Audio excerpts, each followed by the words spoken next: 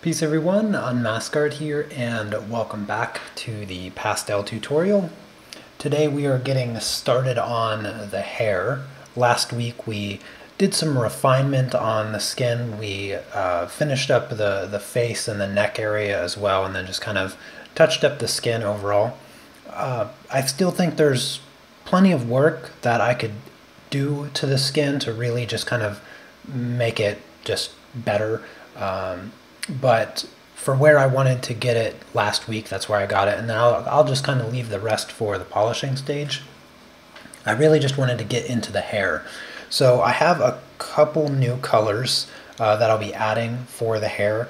But uh, the first two familiar colors that I'm using is 110 and black, uh, which is 750. Um, so these two colors we've already used throughout this project, so the, those aren't new, but I will be using those for the hair. The two new colors, however, are two brown colors. Uh, one is 635 and the other is 625. And um, yeah, so those are the colors that we'll be using for the base of the hair. Uh, and we'll really, I'm, I'm going to try to just get the base of the hair done today. Hey Cece, uh, Gina, Carrie, Marcy, G uh, Gila, uh, Sergio, good to see you as well.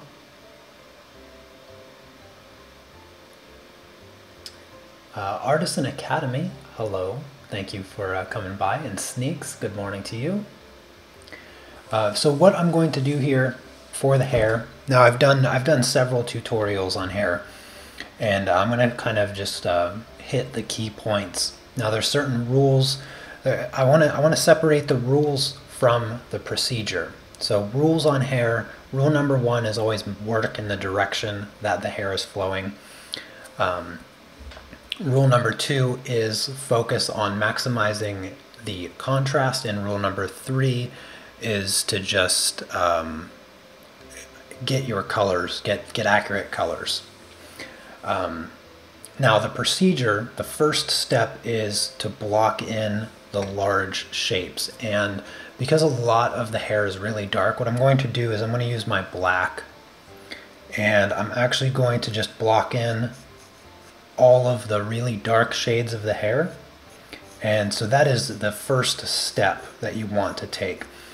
So none of this uh, should be difficult at all hair is very, very easy if you follow these very simple steps. Oh, hey, Chrissy, good to see you. Andy, Tess, uh, Chandri, good to see you as well.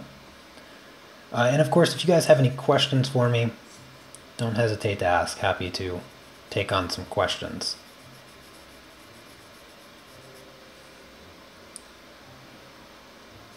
There is still a lot of paper that I need to cover.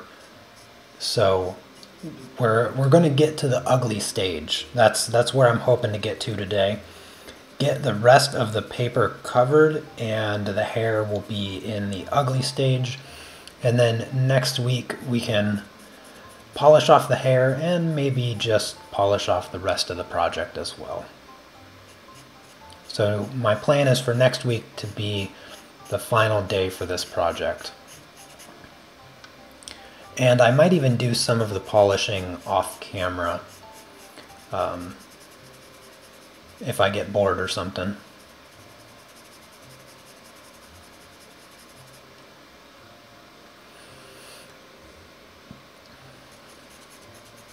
Hope everyone had a wonderful Monday and a, a good weekend. Hope you had a good weekend. I had a nice weekend.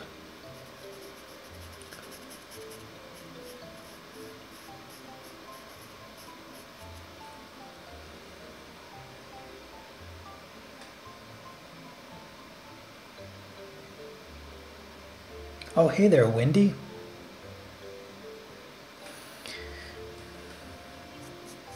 I'm glad to see you. Glad to see you in the stream, Wendy. I don't I don't feel like I get to get to see you enough in the live streams, so it's always a pleasure.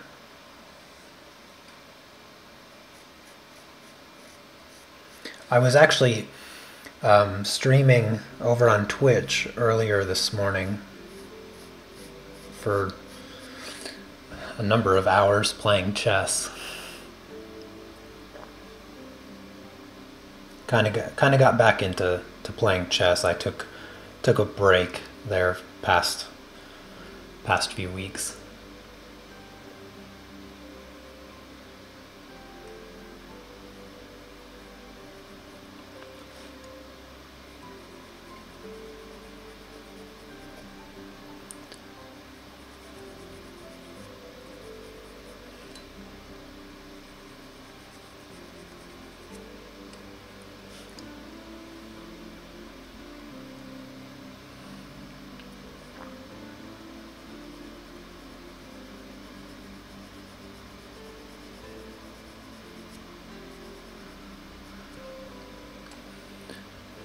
Uh, you had a ton of fun yesterday. Uh, oh, with my sister. Oh, that's funny.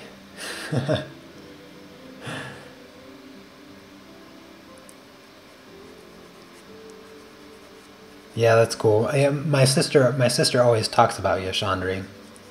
She always mentions uh, when you guys do the, the live streams or the, the Facebook chat or, or whatever it's called. I forget what it's called, but yeah.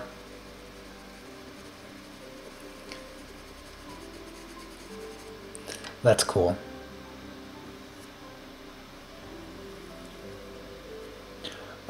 My, actually, now that now that you bring up my sister, we were we were chatting on uh, on Sunday, and uh, my my sister has been out to visit my wife and I here in Poland, and she stayed for a month or just about a month, um, a couple years back ago, and she's been wanting to come back out, and she wants to she wants to come out with her husband, Tom, and uh, do a little bit of traveling around Europe.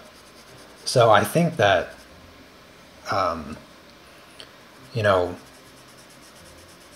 uh, gosh, I can't even remember Netherlands, right? That's that's where you're you're in.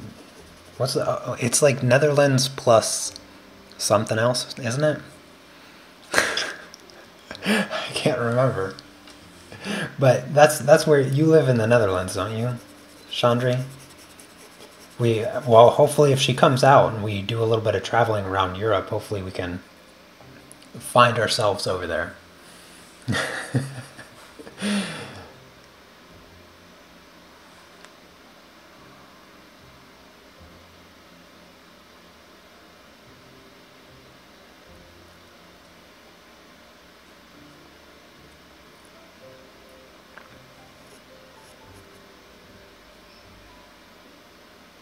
Oh, hey there, Mara.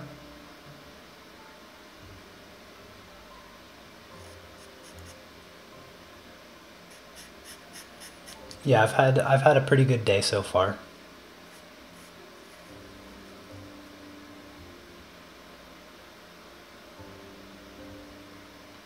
Okay, southern southern part of the Netherlands. I was trying to think of the other name. Isn't there two names for the Netherlands or something like that? There's like two sections and the whole place is called something and then two sections are called something else. I can never remember.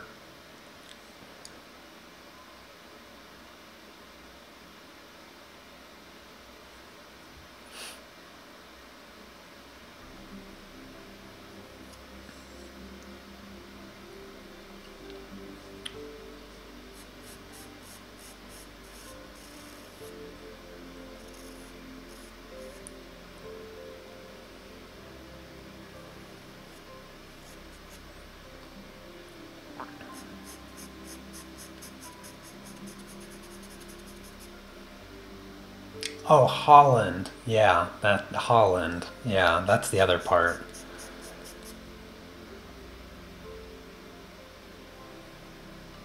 Yeah.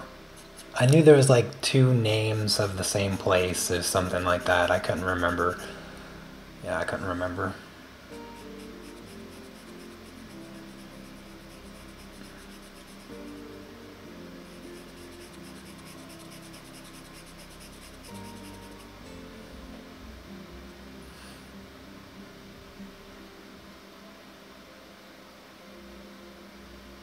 Oh, hi there, Julia.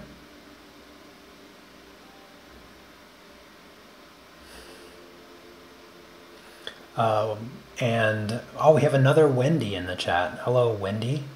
Um, what part of Poland? I I live in Katowice, which is kind of the west, southwestern corner of of Poland.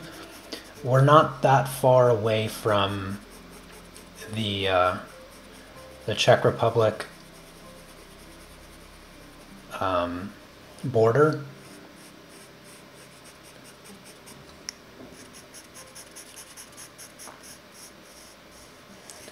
I mean, we're still a pretty decent distance from Czech, but uh, we're a little bit farther from Germany, I believe. So pretty close. I wouldn't I wouldn't describe us on the border, but we're fairly close.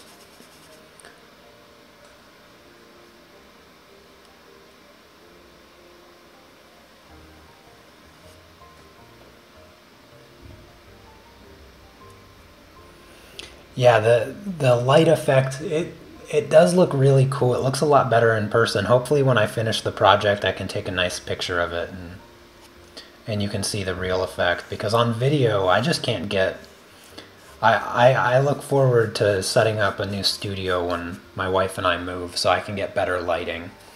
Because I have these I have these desk lights that um, are really close and for some reason like because they're so close they create just like a harsh light if i adjust the contrast or the the um like the the lighting on the camera it just doesn't adjust well for some reason and i i've tried to get it to look the best that i can and i really i really can't get it to look better than what it does but it's always really disappointing to to go back and look at the live stream and see how um, how different the picture looks on video than it does in person. Like I can't get it quite the way that I want. Um, you have a question. Okay, so you ordered the pencils that I'm drawing with now, the Carbothellos. Uh, but you have a question mark. Did you order or do you want to order? Yes, I'm, I'm using the Carbothellos. Um, are so are these pencils just as soft as, no. Uh, so pastel pencils are um, hard pastels. Pastel pencils are not soft pastels, they're hard pastels. And uh, if they were if they were soft, you'd never be able to sharpen them. But you can mix the hard and soft pastels, so they're they're perfectly fine to to mix those two because the background is soft pastels here.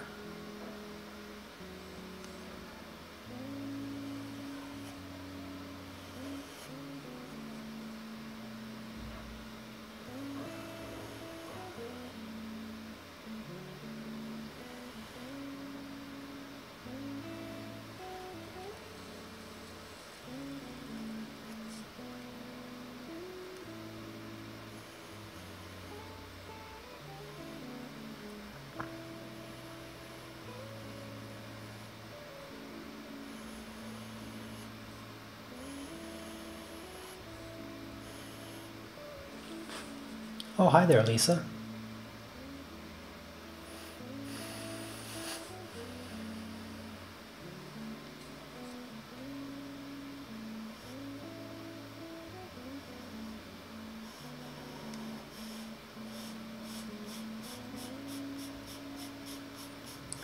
So I'm still just using the black right now and blocking in all of the really, really dark shadows in the hair. And you can see I'm not, I'm not doing any single hair strands. I'm just doing shapes. And that is the first step, doing hair.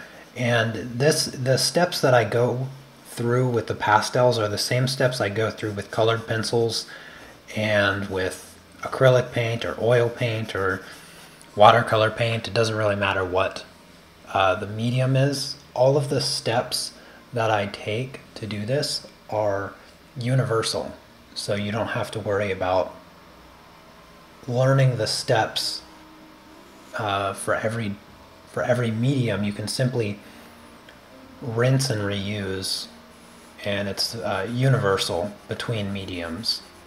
So if you uh, even graphite, if you're just um, working monochromatically, the same the same steps apply. You want to do the dark the dark shapes first. Uh, I often refer to them as squiggly diamonds because they usually have a diamond-like shape, but they're wiggly. So I usually call them squiggly diamonds.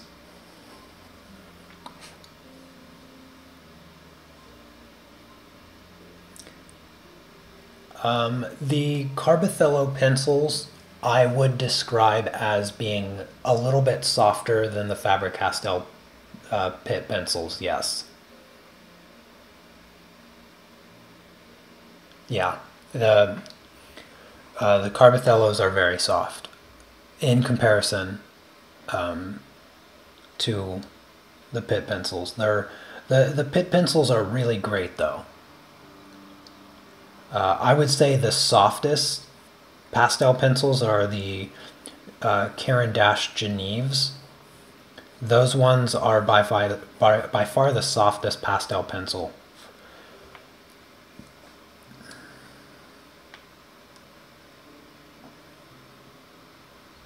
Trying to find where I'm at here.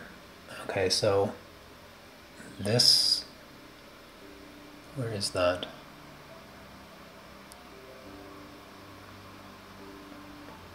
Oh, okay.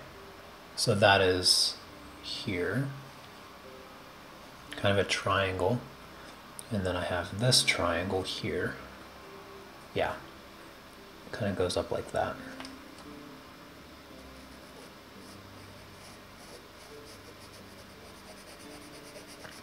Sometimes it's too easy to get lost in the line art.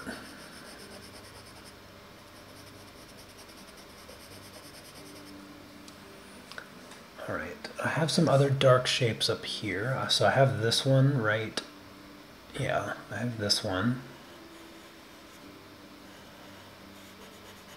And even if you don't get these shapes like absolutely perfect, you have a lot of leniency with uh, the pastel pencils. So don't, you know, stress yourself out too much with like perfecting these shapes because they will change over time anyway as you introduce your other colors.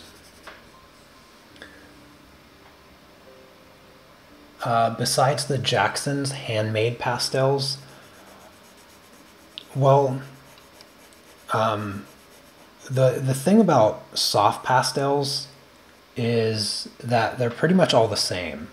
And I've I've mentioned this before, and I've I, I get a lot of emails and questions um, about which soft pastels I recommend because I, I can't I can't even count how many emails I've gotten uh, from people that you know they they want to uh, get my intro to pastel course and they're always asking me oh which, which soft pastel brand do you recommend? And um, the the truth is there's not a lot there's not a lot that goes into soft pastels.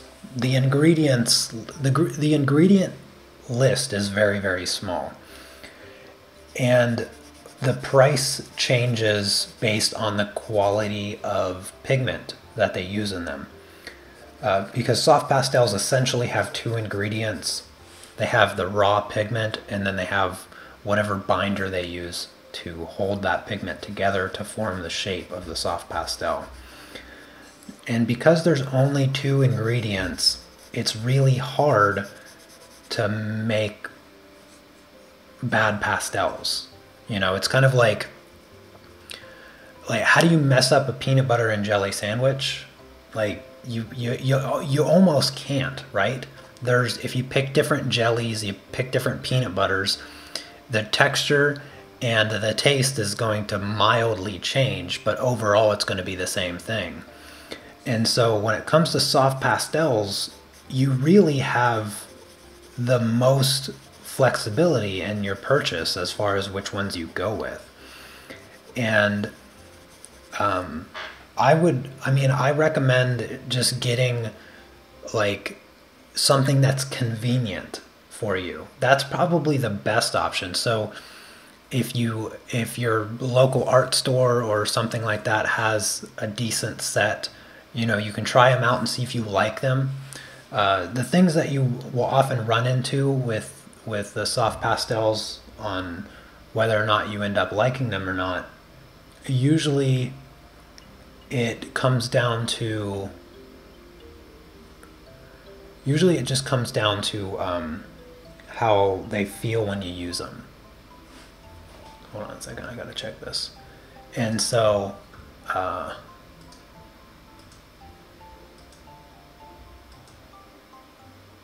okay, sorry. Um, I needed to find a spot for my line art. But one of the brands, one of the brands that I like is the Faber-Castell. I really like the Faber-Castell soft pastels. Um, aside from the the Jackson's pastel, the Jackson's pastels are really nice as well because they're they're basically unison by a different name.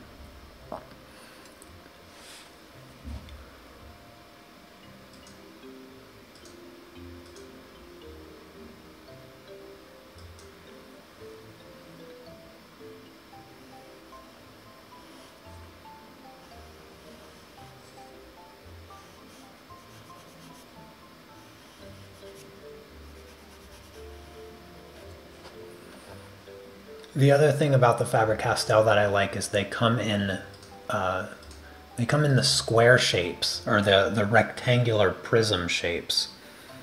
And I much prefer my pastels in that shape because you you have um, a much cleaner edge, which I find to be super helpful in landscapes when you're doing trees and grass, especially trees. Trees are for sure. Um, but it's a it's a mild advantage. I wouldn't say that you should avoid buying a pastel simply because it it has um, you know a particular shape. But you almost can't go wrong with any brand. That's that's the beauty of pastels is that you can almost get away with any brand as long as it's not something that you know is like ridiculously cheap from like a non-art source like a department store or something. But even some even some like you know department store selections of art supplies will still sell like some quality items. Because sometimes quality items they're they're abundant. You know you don't have to like get them from specialty shops or anything like that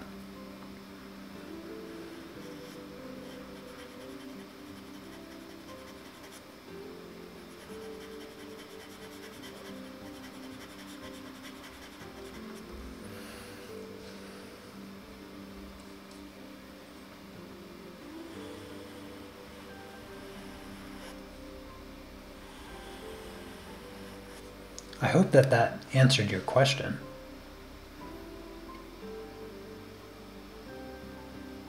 Uh, I see you are drawing now one color. Did you map out values in the sketch? No, no, I didn't. I didn't map out the values in the sketch. So the line art for this project, when I do hair, the line art that I generally create, I will um, map out the darkest shaped values. And um, it's kind of hard to describe, but essentially when I look at hair, when I look at hair, there's, there's, it can be broken down into three to four colors, almost always simplifying down to three. Um, in the case of this hair, it's, I simplified it down to four. But what I do is I separate it into three kind of blocks, I guess you could say. And that's the way that I approach hair. So I look for the darkest color, whatever the darkest color of the hair, and oftentimes it's black given the light source. And um, even if it's not black, I just kind of treat it all the same anyway. So I look for that darkest color, and in the case of this portrait, it is black. And what I do is I just map out these dark shapes. So you can see these shapes that I'm making. They don't really have any, they're not very hair-like. You know, they're, when you look at this, if you were to isolate it, and I just showed you this, most people probably wouldn't identify this as hair. And that's the way hair often looks. It just has like these dark shapes that when isolated, they don't look like much, but they're very, very important. And then once I have this part uh, mapped out in my line art, then I will start to incorporate other um, other lines, which usually just represent highlights. So I'll do dark shapes and then I'll do like highlights. But in this project, I didn't bother doing that. I didn't map out highlights in this project. I simply just mapped out the dark shapes because everything else is really neutral in the hair. And being that it's neutral, I just, I have a lot of flexibility there. So I didn't really feel the need to uh, go above and beyond with mapping out the, uh, the value changes of the hair. So I just kind of left it as is with the dark shapes and um, didn't bother with the highlights. Mostly because of the lighting in this project anyway, seeing as that seeing as how most of it's in shadow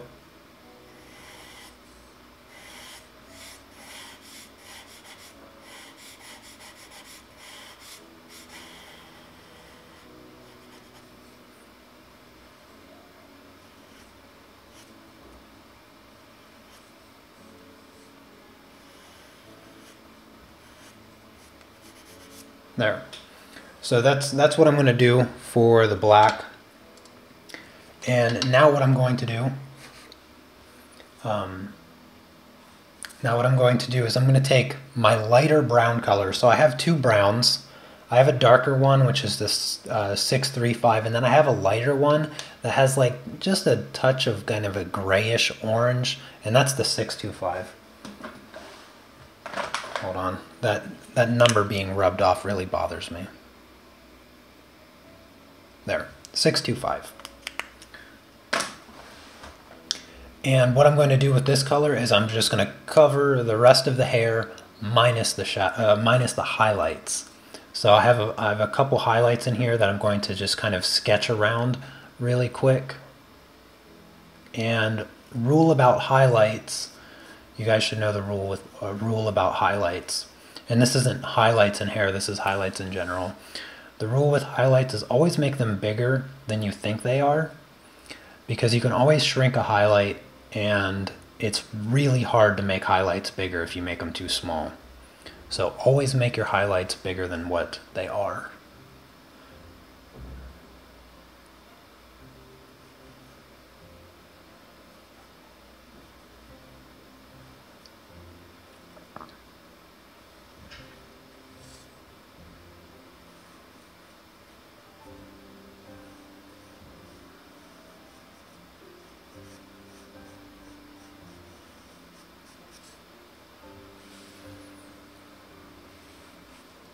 Oh, thank you, Chrissy.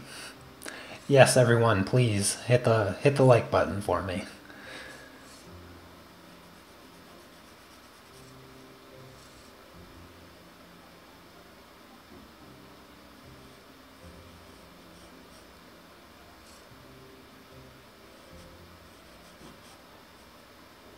So here's pretty much the blocked in highlights. There is um, there is like a highlight that runs through here, so I'll just kind of sketch a little shape there, and then right, right about here, there's a highlight, so I'll just kind of sketch in a little shape there. Uh, and then down here actually, so that's all highlight. Um, highlight comes across there, creeps up here, cuts across, and goes like this. Yeah, pretty much, pretty much like that. Um, and then down here, it's a highlight. There. So now everything else I'm just going to color with this, this color here. And I'm going to do my best to always maintain um, a pencil stroke that goes in the direction the hair is flowing. With pastels, it's not that extremely important, but um, it's a really good habit to always have. With colored pencils, it's a little bit more important because you have less flexibility there. But um, it's always good practice no matter what, so.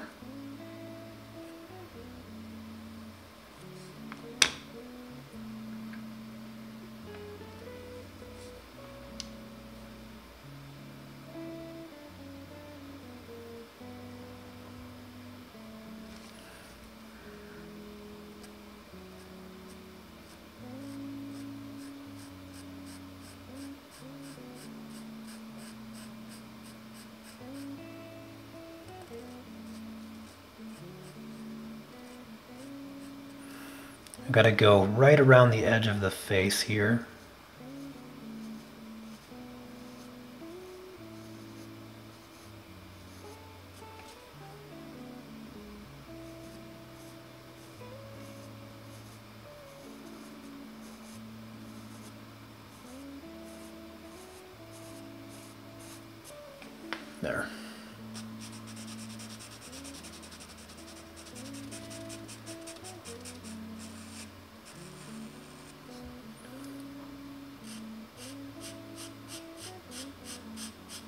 I'm going to do all the flyaways later on.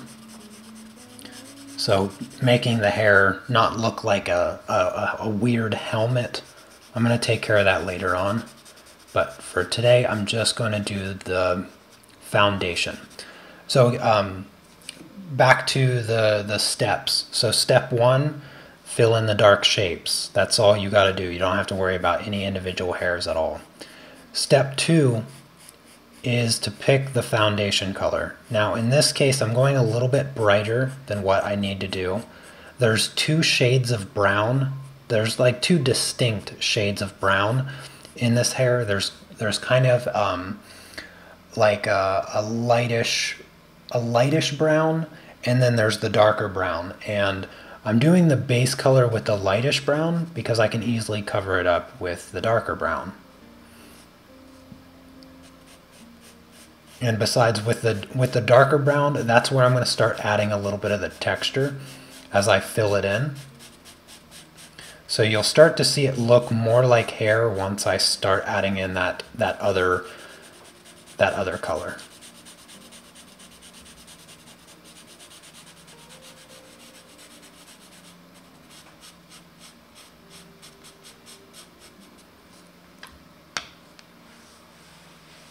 Oh, hey there, Arnie.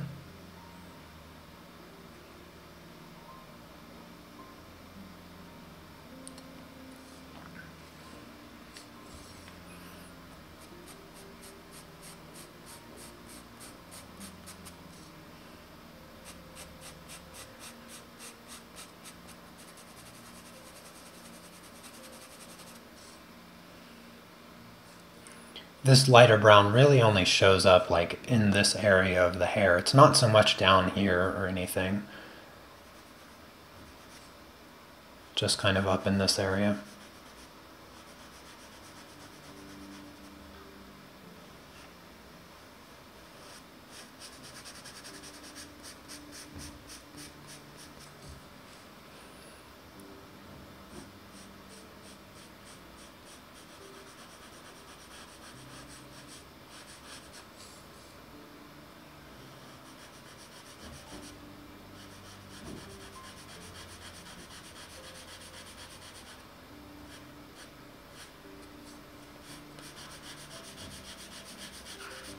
I'm not concerned at all if I kind of work over top of the black because this color is not really going to cover it up in one one pass. So you don't have to really work around the black uh, with any like degree of concern. You can kind of just work right over the edge a little bit. And uh, you'll still be left with a good shadow there, so...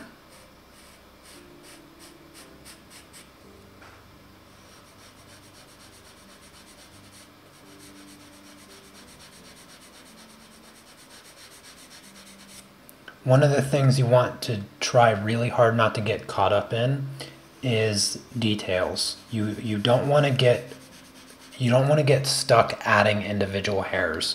If you get stuck in that phase, oftentimes the hair turns into spaghetti. And we all know what spaghetti hair looks like. It looks like garbage. So don't don't make spaghetti hair. No spaghetti. I do not allow spaghetti.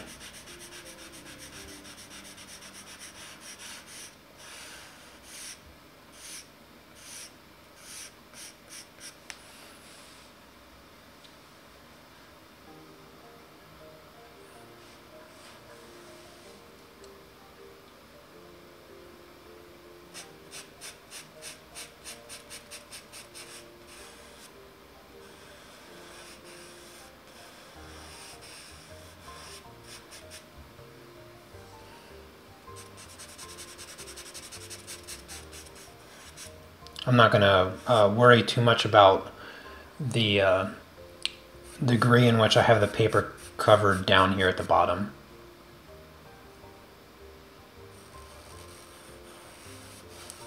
Because I'm going to use, mostly I'm going to be using the darker gray. I mean the darker brown. I'm still not sure what I want to do with the hairband. She has one of those uh, those tangle-free, like springy weird hair ties that's supposed to like not get cut in your hair. Um, I I'm it's it's a minor detail. I'll probably just create something that's bland and kind of just fades into the the hair color. Or I might grab that that red color and give it some red, maybe just make it like a red hair tie, and that will match the lips and just kind of add you know, a little bit of balance to that color. I still need to rework the lips. Um, they're not, they're nowhere near looking good enough for me to call them done. So I'm just going to leave a little gap there for the the hair tie. I'll just make the hair tie more of a cloth one, I guess.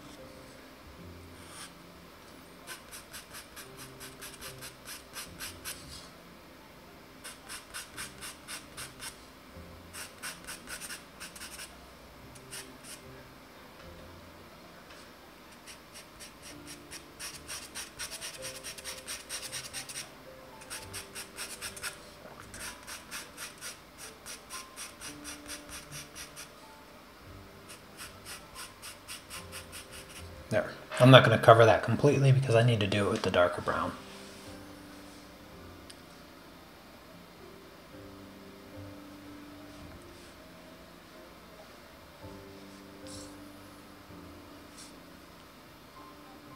Am I going over this later with a blending stump to smooth it? Yes, I will. I will use the blending stump to smooth out the hair. Um, but now it's a little bit too too soon to worry about that. Not really enough uh, color on the on the paper to concern myself with blending just yet.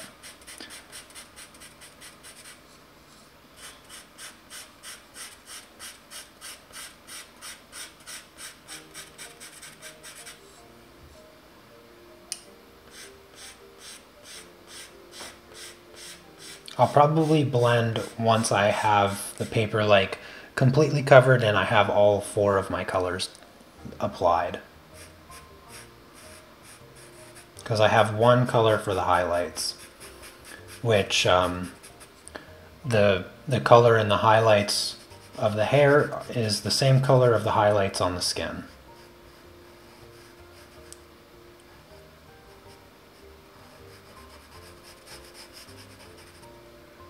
Alright, let's not forget about this little piece up here. Pencil is getting really dull. I'm gonna have to um, sharpen it before I utilize it again in the future layers.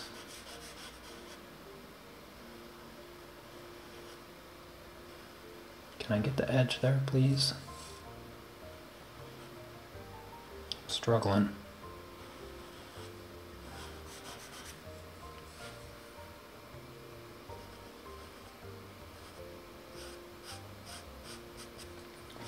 All right. Um, I'm going to take the highlight color and I'm just going to fill in the highlights. This is the 110 color. Same color like I said that we used in the uh, highlights on the skin. So it's kind of a just a cool gray. I'm just going to apply it generously to those areas of the highlight shapes that I blocked out there. And fill them in. It doesn't appear to change the color very much, but it does. Gives them a kind of a bluish tint. We'll worry about the fine tunes of the highlights um, later on when we start applying the colors with a little bit more purpose. And by purpose, I mean kind of putting in the uh, texture of the hair. Now it's time to grab the dark brown.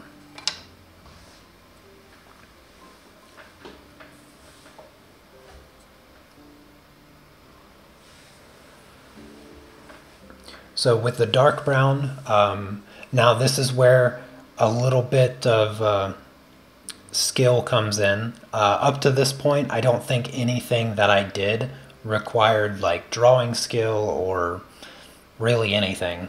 Um, if you have the line art down, then you can easily just kind of fill in the shapes, uh, which is what I did. Uh, now that I'm applying this secondary brown to, to start creating a bit of the volume in the hair, and a little bit of the value difference.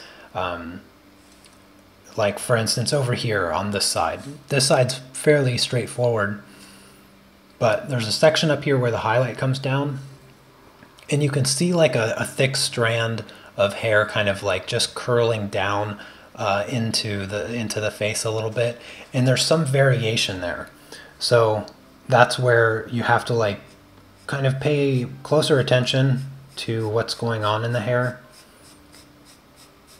and draw it accordingly. And that that does take a little bit of skill, but not very much. Small amount of skill is all you need.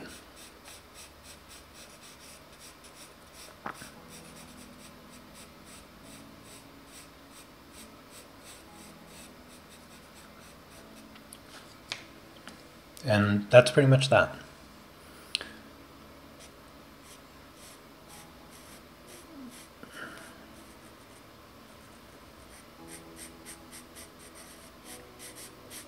Not going to worry about any of the flyaways right now. So we're still just doing broad shapes.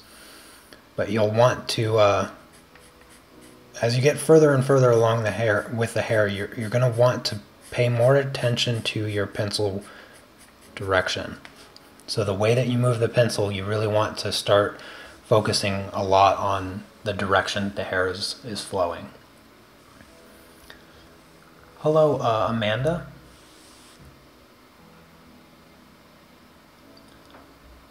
Pro proportions are not okay. What does that mean?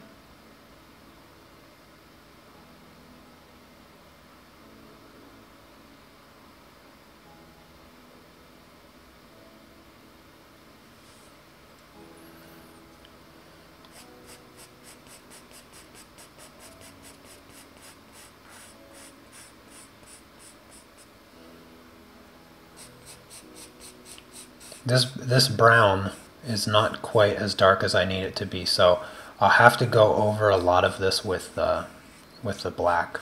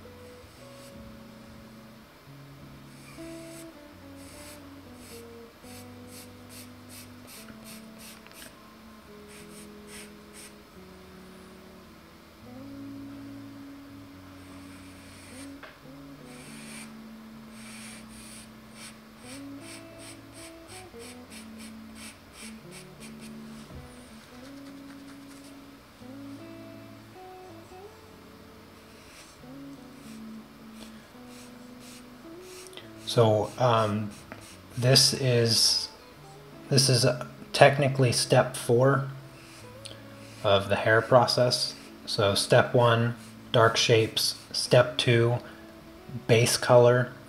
Step three, fill in the highlights. Step four, using using this middle color. This is like the middle color from the base and the shadows and whatnot. Um, you want to do what I, I refer to as bridging the gap. So what you what I mean by that is is you have the brightest values and you have the darkest values, and now what you need to do is create everything in between, thus bridging the gap. And that is just a process of following the uh, the first two axioms of doing hair, and that is always moving in the direction that the hair is flowing and maximizing the contrast. So those are the two two important axioms that you got to follow during this this step. And you can pretty much you can pretty much just follow this step, bridging the gap, um, all the way up until you get to the fifth and final stage, which is adding the final details like the, the flyaways and stuff. Because it's it's really not until you have the flyaways that hair really starts to get its texture, its final form, and whatnot.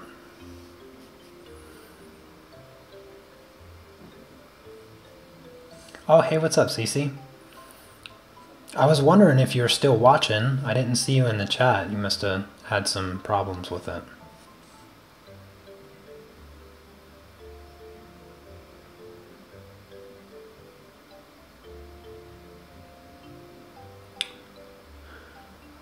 Uh, do I work with oils? Sorry, I didn't. I missed a question.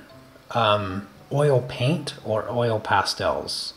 Well, I suppose I can answer both regardless, but um, yes, oil paint is my favorite medium of all time, and um, I don't like oil pastels even a little bit. So I don't work with oil pastels.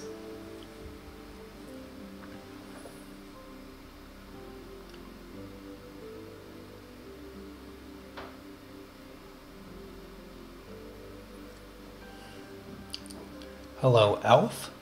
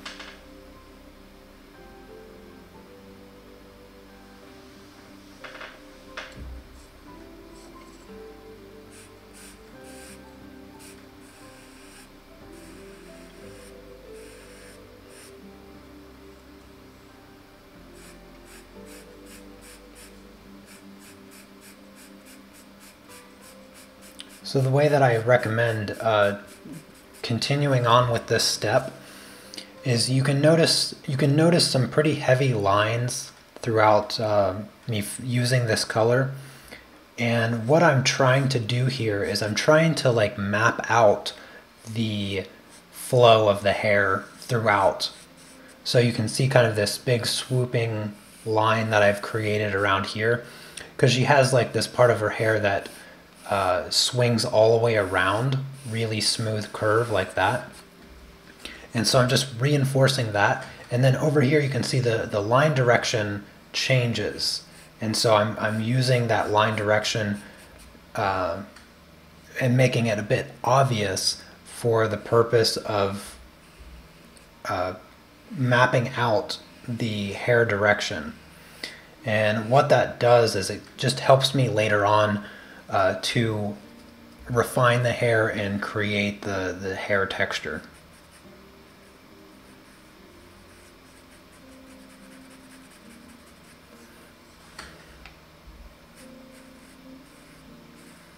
because there's there's parts in the hair where you know accuracy is not that important. Once you have the the big the big shapes in, the hair just kind of comes to life all by itself. You don't have to like be so accurate that every single strand of hair that you're able to see in the photo needs to be exactly in the same place. You can still get it to look pretty much just like the photo as long as you have the big shapes of the hair. Once I, once I apply this color uh, everywhere I need it, I'm going to blend it out and smooth things and the hair should start looking pretty pretty good from there. Uh, and then I'll just work back through my colors, work back through all of the colors that I've used so far, including the black, uh, to refine the hair. And that's still just part of bridging the gap, I would say. And a couple a couple layers of, of going back and forth between all of those colors, uh, you'll you're gonna have a really good looking base for the hair. And then once you add the flyaways on top of all of that, you'll have wonderful hair.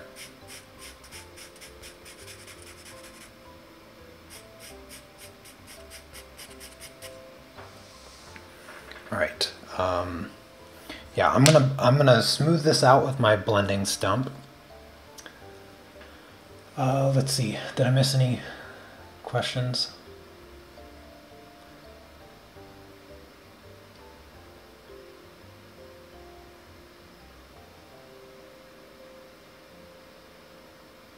Would I say male or female hair is easier to blend, sketch, color? No, I would I would say they're the same. Short hair is uh, it's short hair is a little bit different in general. Like short hair, like how I have mine, it's a little bit different, but all the same rules apply. Yeah, all the same rules apply. All right, so I'm just going to use my my blender here to start smoothing out the hair. And this is going to make the hair look really soft in comparison to what it looks like right now. And that's going to give me a, a great foundation for uh, making adjustments. Because right now it looks a little rough. And hair is not rough.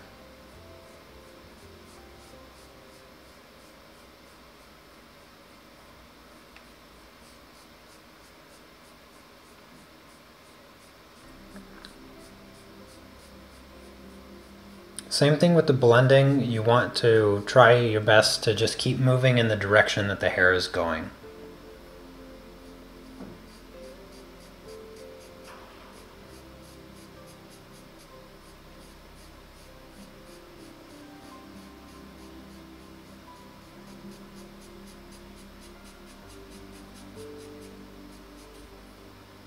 I'm going to start with the lighter sections before I move into the black.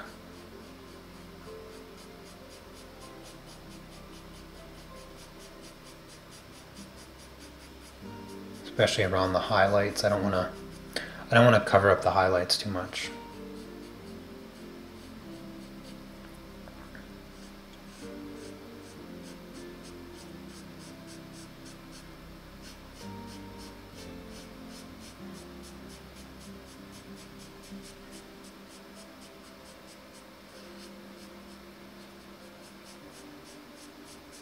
Sometimes sometimes the hair can look a little weird when the values are off. But once I get back, and once I go back through this with the black things, It should it should really start to look like hair. But I don't think it looks too bad as is.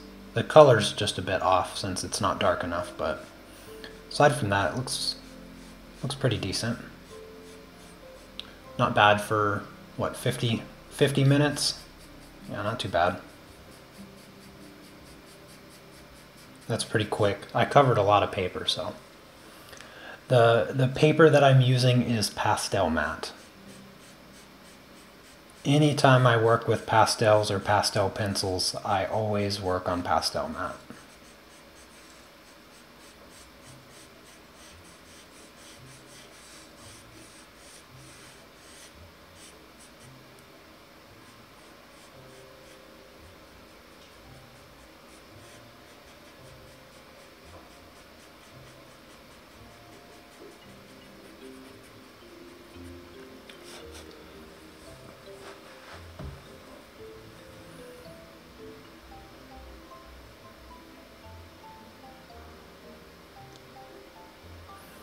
No, the, the pastel paper, uh, the pastel mat that I'm using, it's not scratchy. It kind of has, uh, it, it does have a rougher texture, but it's very mild. It's very mild. I would say it's kind of like, um, like a, a dry velvet, like a like an extra dry velvety texture. And so it does have a little bit of roughness to it, but it's very it's very comfort comfortable. It's not a harsh texture by any means.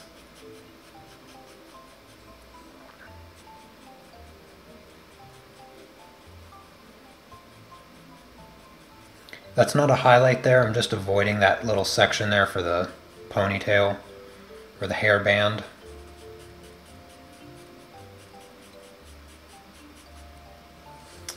Can I use graphite transfer paper? Yes, you can. You can use graphite transfer paper to transfer line art onto your pastel mat.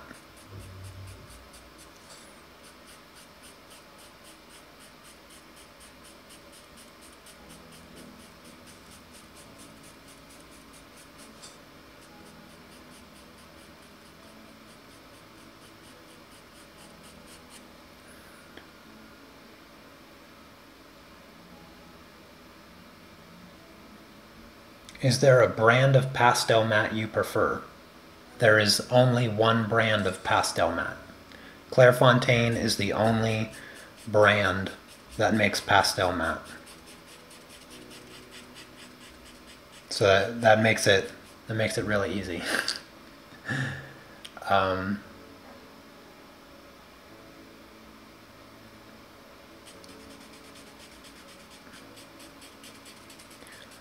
Uh,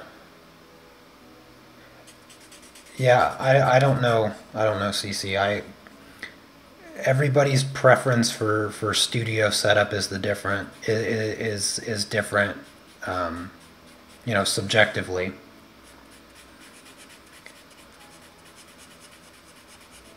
And I think my biggest problem is finding finding ways to uh, to buy what I need, not necessarily like finding a way to have it set up.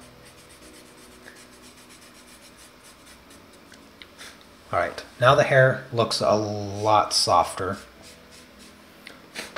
And I need to sharpen my pencils, so if you give me, if you give me like 45.7 seconds, let me just mute the microphone.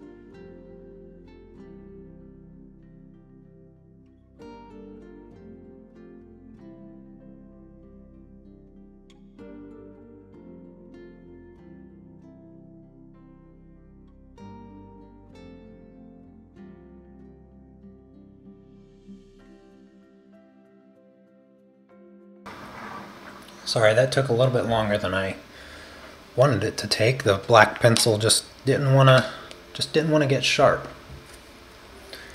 All right, uh, let's see here. Where am I going to start? I'm going to just start over here. Uh, what I'm going to do is I'm going to start just adding a few smaller lines, a little bit more of the hair texture, but I'm still focused more on the values than I am the actual individual hairs or anything like that.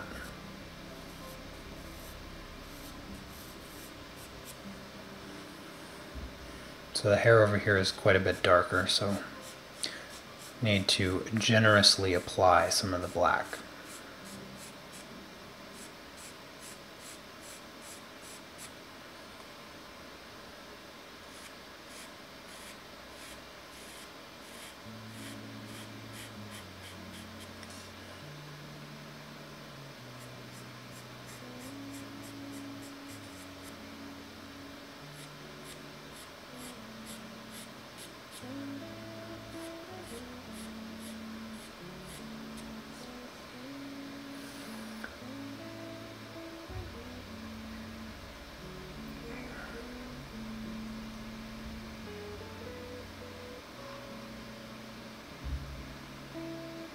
Uh, do I need to know how to draw in order to get results like this? No, you do not.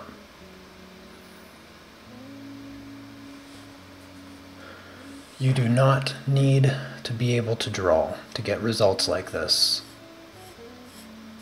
You simply need to know how to plan.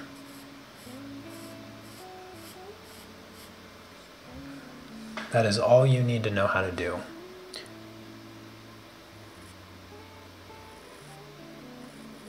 I think a, a majority of the people that follow my tutorials uh, on Patreon, I think I think a majority of them don't draw.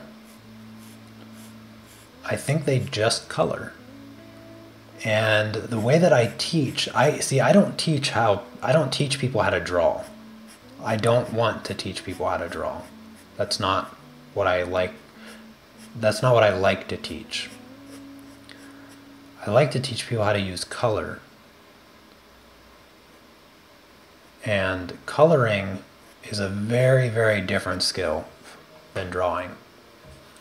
I can assure you of that. And so I, uh, I always provide the line art for my projects so that nobody needs to worry about drawing.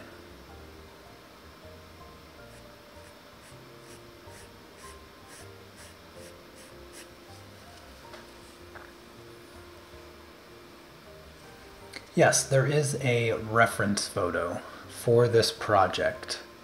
Um, the reference photos and the line art I provide over on my Patreon on my Patreon page. And uh, speaking of Patreon, um, I do want to mention that this this is the last pastel tutorial, this project here, um, before I, I make the switch back to uh, to Patreon. So the colored pencil project is already being streamed just on Patreon. Um,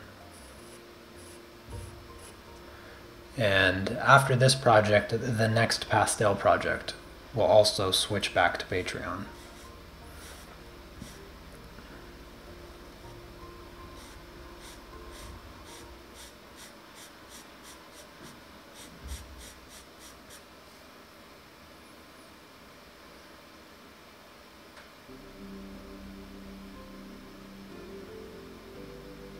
Oh, good morning, Barbara. Good to see you.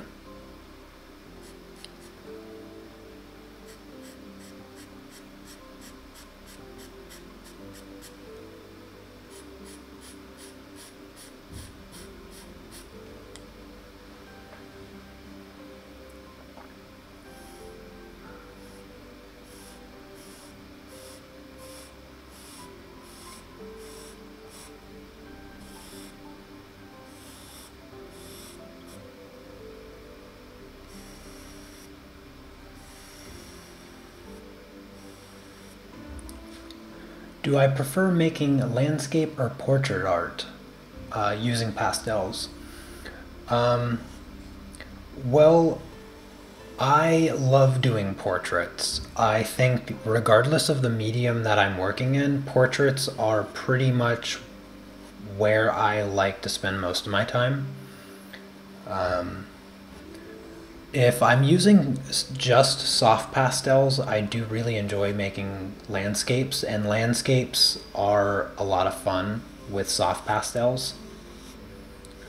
I don't know if I'd want to do a soft or a, a, a landscape with just pastel pencils. I don't know if I would if I would enjoy that as much. But portraits, I, I really enjoy portraits a lot. Um, the human subject is my favorite subject in art in general. Uh, I love doing figure drawings. We're doing we're doing a, a figure uh, for the colored pencil project right now. Uh, a male figure, and yeah, that's that's kind of my favorite subject matter. I love uh, doing figure drawing.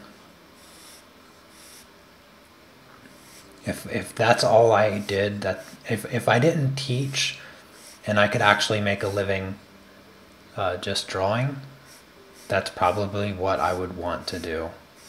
That and painting it, painting or drawing or coloring or whatever that's probably where I'd want to be.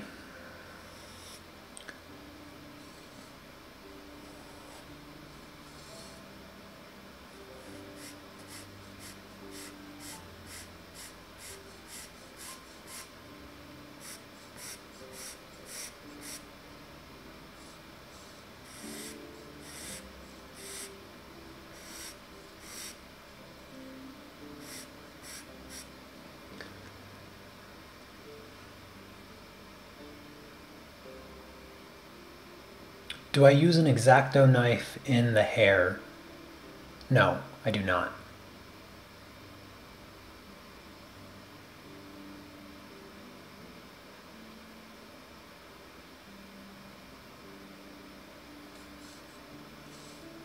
No X-Acto knife.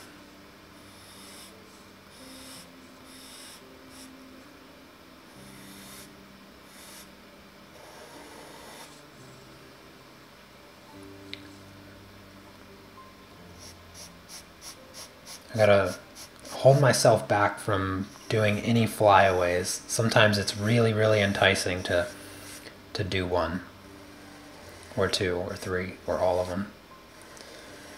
Gotta be patient with the hair. Gotta take your time with it, and just focus on the values first. Don't do, don't sneak ahead.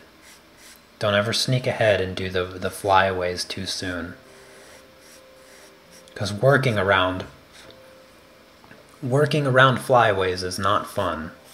I can assure you. You do not want to go too too quickly to the flyaways.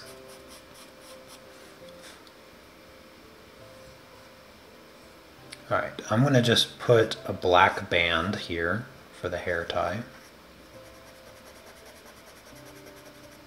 And maybe I'll add red to it later to match the lips. Actually, I have that red color right here, so let's just add it. So here's the hair tie. And it's going to be so lost in the hair that it you have to look for it to even see it. So that's one of the reds, and here's, wait, that's not it. Oh, it's this color here. This is the 770 color. Now you can make your hair tie look anything, like anything you want, but I use the same colors that I used in lips. That's the 770 color and the 330 color. I'm gonna use some black over here for the shadow.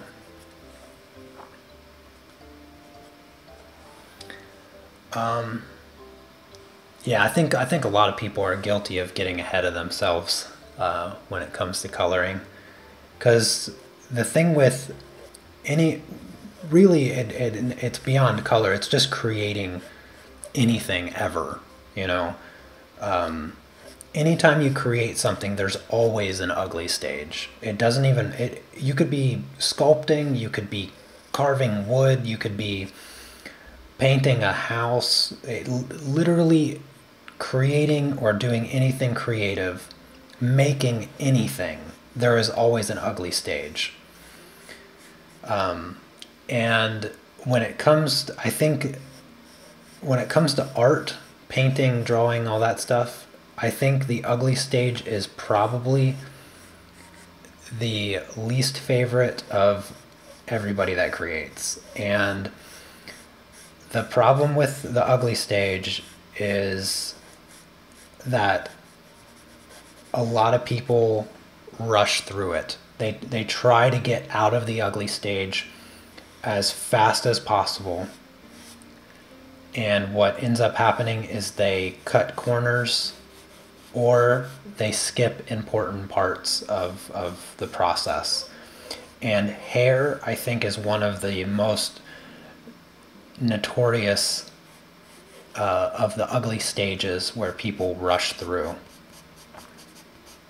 They want they want to get right into the single strands of hair and all of that, and what ends up happening is they get spaghetti.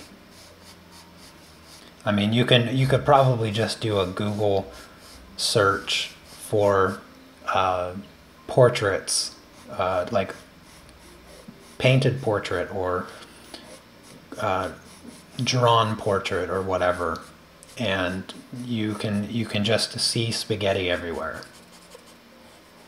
There's just so much spaghetti. And a lot of people a lot of people struggle with hair, and um, I have always found hair to be one of the easiest things to do, regardless of the medium because from like the earliest of my portrait work that I've that I've done, when it came to the hair, I always just broke it up into the base shapes and I got I, I almost never had spaghetti.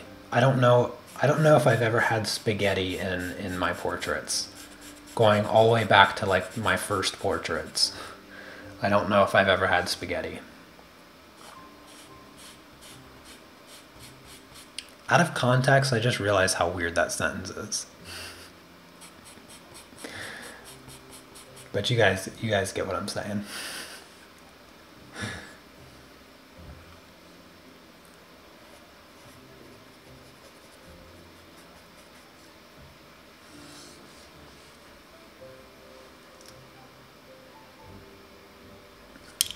Oh, hey there, Shiny.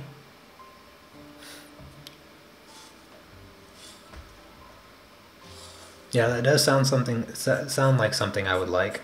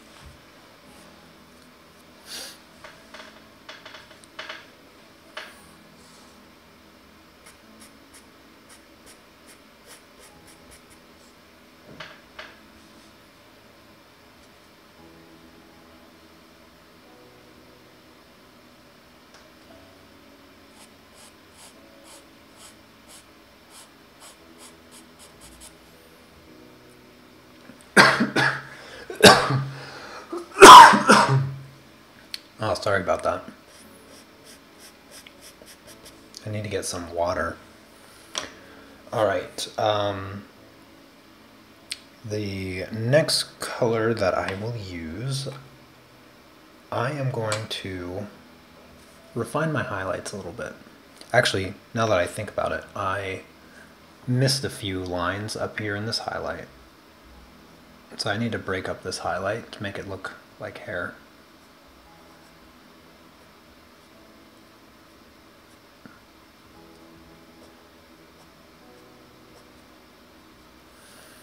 There we go. So uh, switching back to the 110 color, I'm just going to come in here and create some highlights.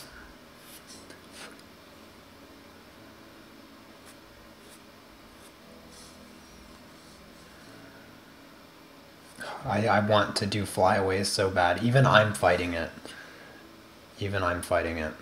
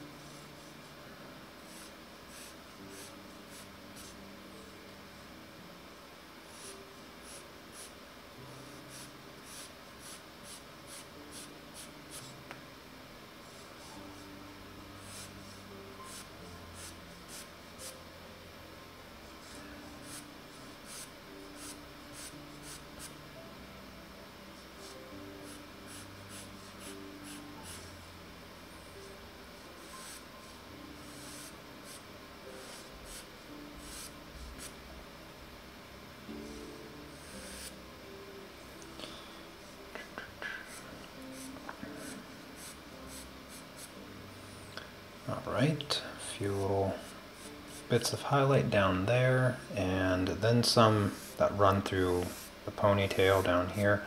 Uh, I'm going to blend these out. Um, these are not single hairs. They are not single hairs. Just trying to create some variation in the values. That's the that's the key part.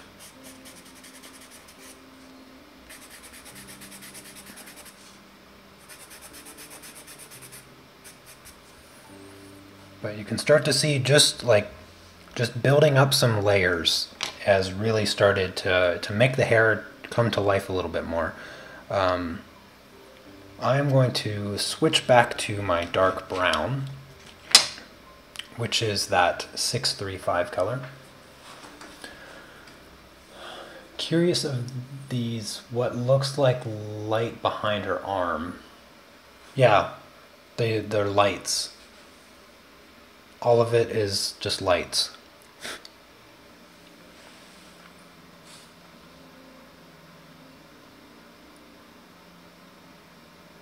Uh, what is the different? Uh, what is different about the tall ends of the ponytail that you're that you left them plain paper? Uh, well, these are highlights. The, these parts of the hair are highlights. Um, but I need once once I finish the base of the hair and I add the flyaways and the single strands and all of that, those highlights will make more sense. They uh, because I, I used masking film right to cover that.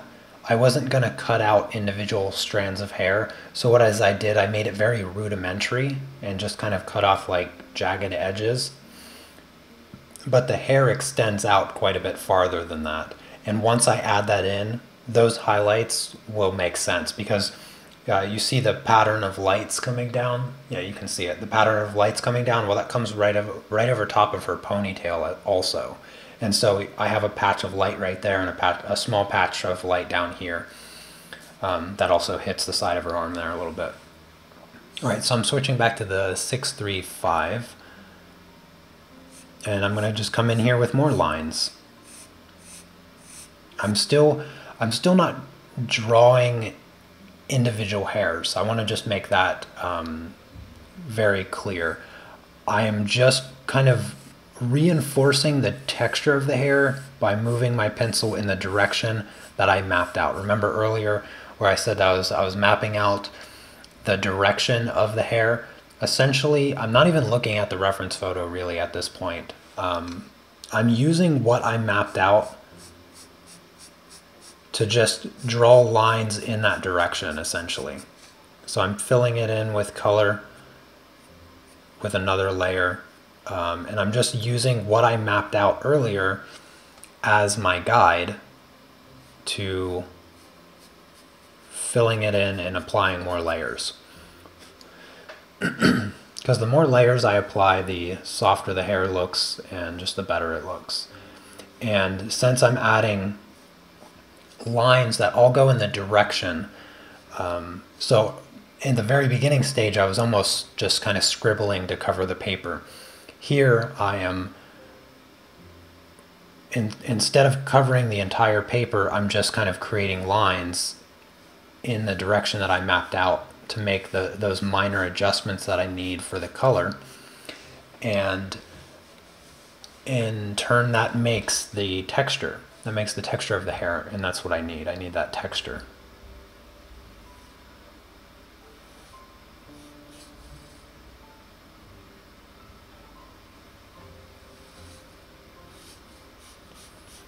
So again, I don't want I don't want anybody to get caught up in making like individual lines. You just need to go in the direction of the hair. That's all.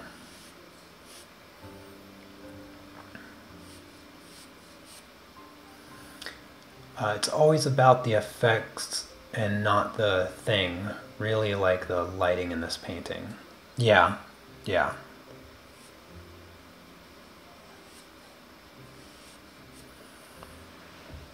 You know, when I I picked this, I picked this particular portrait uh, because I thought the lighting was going to be really difficult. I thought, oh, that that that looks really hard, but uh, as I actually got into it, once I put the background in, and the you know the background wasn't hard. The background was very easy.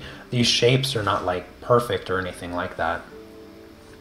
Um, the portrait itself really just kind of came to life because of the background. If I remove the background, the portrait doesn't make a lot of sense. But because the background reinforces the lighting of the scene overall, um, it it's really what made this this project look as good as it does right now with with the the lighting.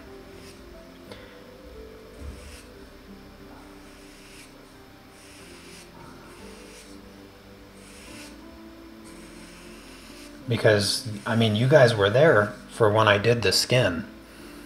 Uh, the skin was essentially just apply one color, except for where the highlights are, right? And then you know add some other darker colors for the shadows. The the skin on this project was probably one of the easiest portraits I've ever done. And so anybody that followed along with this project, I imagine you have pretty similar results to what I have right now.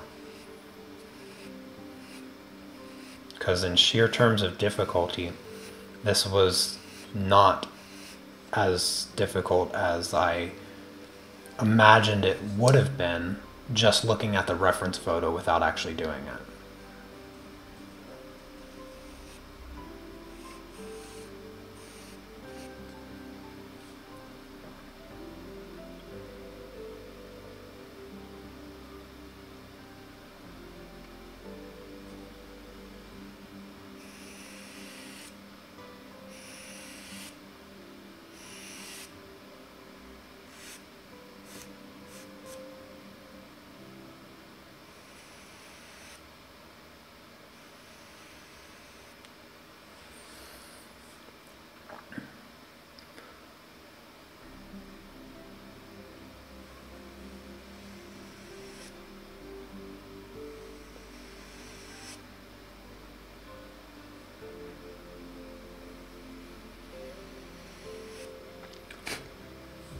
So I'm going to go down here and uh, add the tips of the hair because not a lot is going to change. But you can see now that I have the rest of that hair there the shadows there, or the highlights, I mean, they make sense.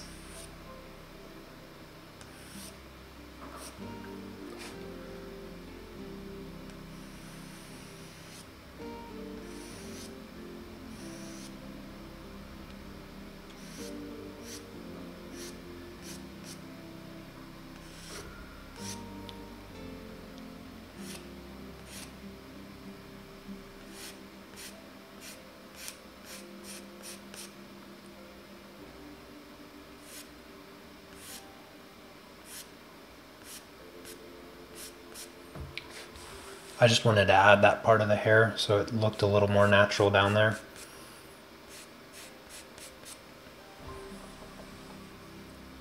Still need to make some uh, small adjustments, but I am just about done. I am going to blend this one last time and call it a day. So uh, this is what the base layer of the hair should look like uh, before blending it. And after I blend it, it's just going to have a smoother texture overall. And then next week for the kind of the final final part of this project, um, what I will do is I'll add all of the flyaways in the final texture of the hair. And once I have that done, it's on to the polishing stage. My favorite part of every project. Now you can you can kind of cover up a little bit of the highlights as you blend out here because you're going to add more later on. Um, with the individual hairs being very key to bringing out those highlights. So don't be afraid to cover them up just a tiny bit.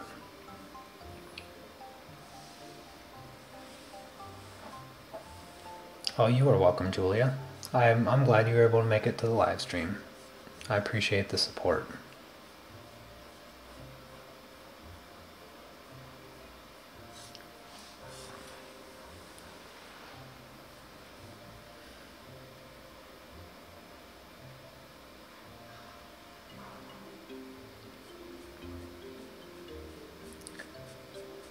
There's still there's still a bit of work that I need to do on the rest of her. Um, but I wanted to kind of leave that for the polishing stage. And I'll say I'll say that like next week is next week will be the final stream for this project. And I'll try to do as much of the polishing stage on that stream as I can. But yeah, there's some there's some fine tuning that I need to do on the face um, before I call it done also the skin overall just needs a, you know, a little, little bit of tweaking, a little bit of polishing.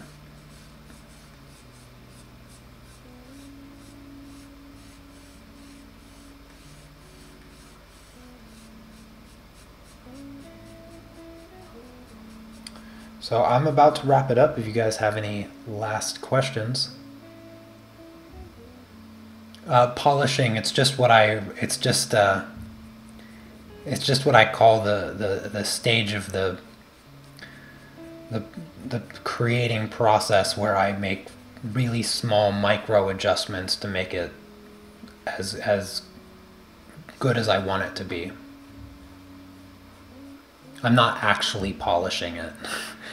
like I don't I don't I don't like grab a rag and some some kind of polish and you know make it shiny.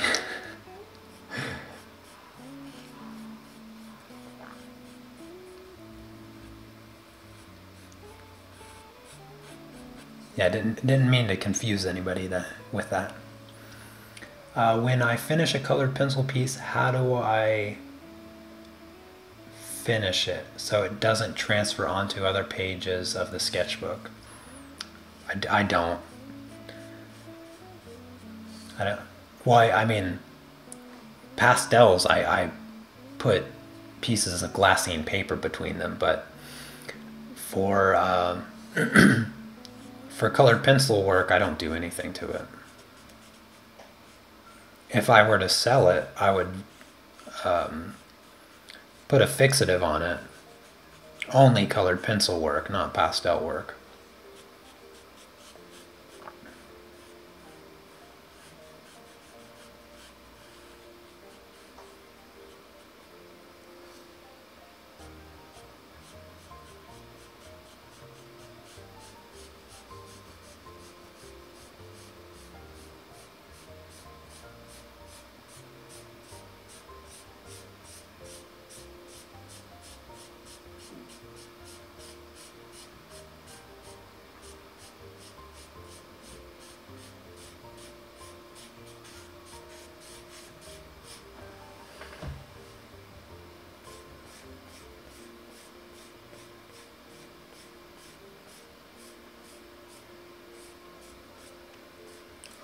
Alrighty, everyone, that is going to be it. So, um, like I said, next week I will finish off the hair. I'll add the flyaways. I'll probably also add one other color to the hair. She has uh, some hints of orange. And what I might do, um, I might actually, I might even use this. I use this in the skin to give it a little bit of an orange look. I might even use this color, but I might use something more extreme to get some some just nice uh, kind of saturation out of the the toning. But that's going to be it for the hair. I mean, a lot of I think a lot of people would be really satisfied with just getting their hair to this stage. And once you add the flyaways, it will completely transform it. So the flyaways on top of this base you're going to you're going to love your hair. So uh, if you can get to this point, then you're already miles or kilometers ahead of, of a lot of people doing hair. So um, anyways, hope you enjoyed the live stream and uh, yeah, I will see a lot of you Thursday for the colored pencil tutorial over on Patreon. Uh, and if you're not signed up on Patreon, I have a link for that in the description. But I will see you next time. Take care. Peace.